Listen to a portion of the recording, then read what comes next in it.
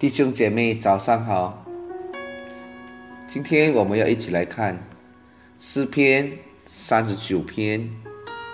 三十九篇第一节说：“我曾说我要谨慎我的言行，免得我石头犯罪。恶人在我面前的时候，我要用绝环勒住我的口。我默然无声，连好话也不出口。”我的愁苦就发动了，我的心在我里面发热。我默想的时候，火就烧起。我便用石头说话：“耶和华，求你叫我晓得我身之中，我的寿数几何？叫我知道我的生命不长。你使我的年日载如手掌，我一生的年数在你面前如同无有。”个人最稳妥的时候，正是全然虚幻；世人行动时息幻影，他们忙乱正是恍然。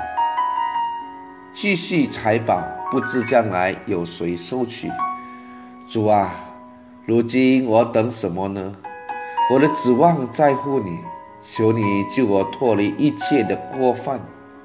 不要使我受以往人的羞辱，因我所遭遇的是出于你，我就默然不语。求你把你的责罚从我身上免去，因你手的责打，我便消灭。你因人的罪恶惩罚他的时候，叫他的笑容消失。如一被虫所咬，世人正是虚妄。耶和华啊，求你听我的祷告，留心听我的呼求。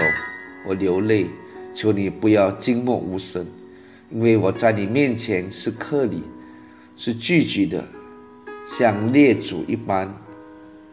求你宽容我，使我去而不返之先。可以力量复原，愿上帝亲自来祝福他的话。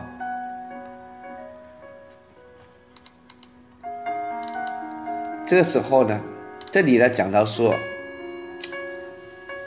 我们可以看到大卫经历人生种种的遭遇，他顿时领悟了人生的真谛。所以他就从心里呢发出好多的呼喊，希望能够唤醒他沉睡的心灵。首先，我们从第一节到第三节，我们看到大卫呢心灵呢他的重负。第三节他说：“我的心在我里面发热，我默想的时候火就烧起，我便用石头说话。”弟兄姐妹，你看大卫的心灵是何等的焦急，他禁止不住要说出心里的话，发出心灵的呼喊。第一节他这里又说：“我曾说我要谨慎我的言行，免得我石头犯罪。”大卫本来打算不说话，因为。他怕说，他就说错话，所以他就说，免得说错话，免得因而犯罪。那他看见了人犯罪，强制自己不出声、不讲话。后来怎么呢？后来连好话也不说了，就是怕讲错话。他本想对人生保持一种的缄默，可是当大卫发现人。越来越陷在这个虚妄中醉生梦死的时候，他的心灵就在不能禁止不住，要向世人发出呼唤。大卫呼唤些什么呢？他有什么要提醒世人呢？那我们来看一下第五节说：个人最稳妥的时候，正是全然虚幻。第六节也说，世人行动世袭欢迎，还有十一节说，世人真是虚虚妄，一连几次的希望，他会一直的用这个字字虚妄，说明了大卫对人生的希望的感叹。为什么呢？因为他说：“叫我知道我的生命不长，你使我的年日载如手掌，我一生的年数在你面前如同无有。”所以他发现人生的短暂呢，常常叫人呢感觉的叹息，总觉得好像空跑一场一样。他又感觉到希望的人生，而且他发现希望的人生。以致导致他所做的事呢，就变成无意义的。所以他说：“世人行动呢，世袭欢迎，他们忙乱，这是恍然。继续财宝，不知将来有谁收起。”所以他发现人的一生的行动所做的怎么样呢？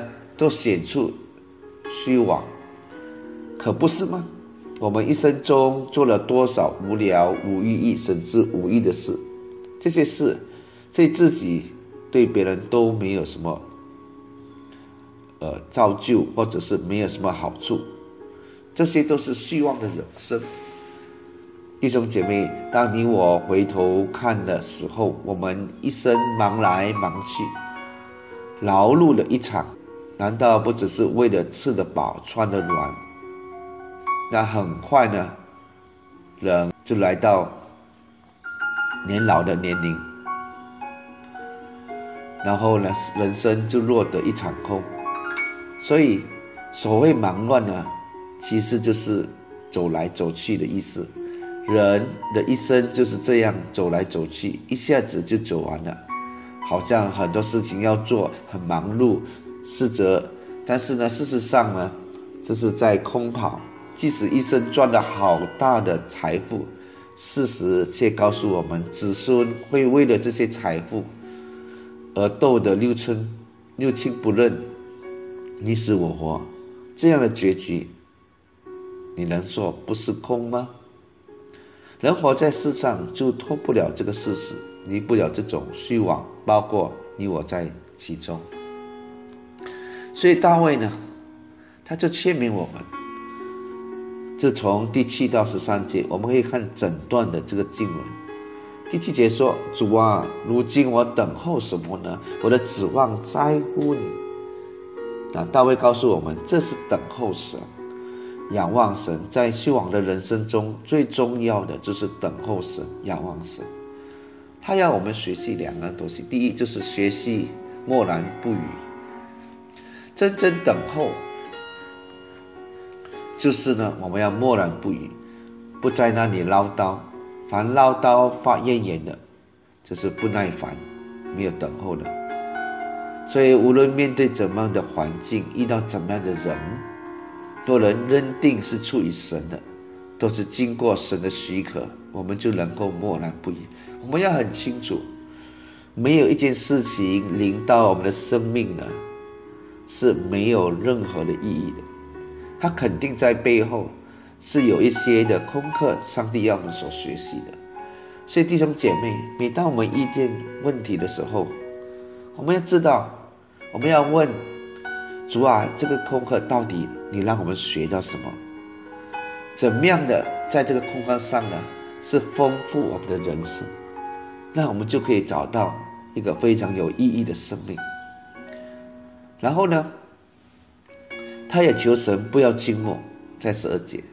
所以弟兄姐妹等候神的时候呢，是希望神不要静默无声，希望神是有回应的。当我们等候的时候，我们都希望神开声，我们都希望神有回应。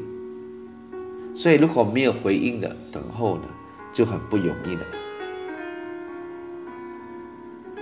所以呢。我们看到大卫呢，就有呃呃，他有做这种祷告，就是除去责罚的要求，希望神有回应。他心中呢有痛苦，他流泪的求神回应，在十二节我们可以看得到。他告诉神，如果上帝没有回应，像他这样软弱无力的人呢，就不能够承受了。所以弟兄姐妹，我们希望在短暂聚集的人生遭遇各种各样的痛苦后呢，我们的能力呢能够复原。所以，就如刚才所说的，如果我们很清楚任何事情是神在掌管的话，我们就不会叹息，我们也不会埋怨，反而我们会感恩。我们知道上帝在上帝的应许之下，这些事情的发生是让我们学极大的功课。所以今天早晨，我不知道在近期内你面对什么的问题，但是我要鼓励你，弟兄姐妹，我们人活在世界上，都会有一个目的的，我们不会白活。好不好？这时候呢，我们大家一起来做这个祷告。亲爱的耶稣，今天早晨，你给我们看到，如果我们的生命没有你，我们的生命只是一场空。无论我们多富有，或者我们多有才干，我们每一天所做的工作、所见的人，这似乎失去意义。因为我们不知道我们是为了什么而活，但是如果我们知道这个真理，我们的生命是在你手中，我们来到这个世界上，都是因为你已经计划好，你让我们的生命得到丰富，所以你在约翰福音十章十节告诉我们说。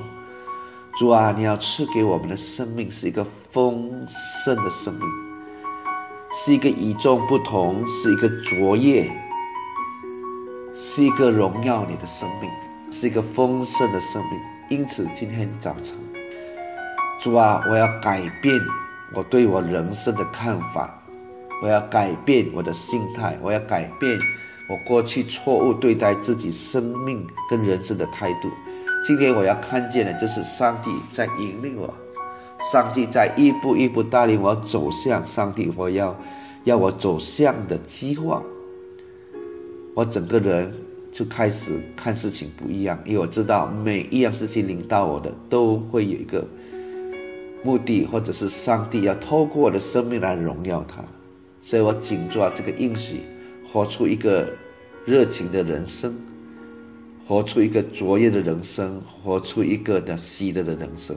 主啊，今天我要决定，我不再埋怨，我不再看到我的生命是空虚的，是虚妄的。我的生命是蛮有意义，因为有耶稣在我生命里。主啊，我谢谢你，我也祷告你，祝福每一位弟兄姐妹，让我们生命从今天开始就变成不一样的生命。因为你的话语在格林多后书五章十七节说：“若有人在基督里，他就是新造的人，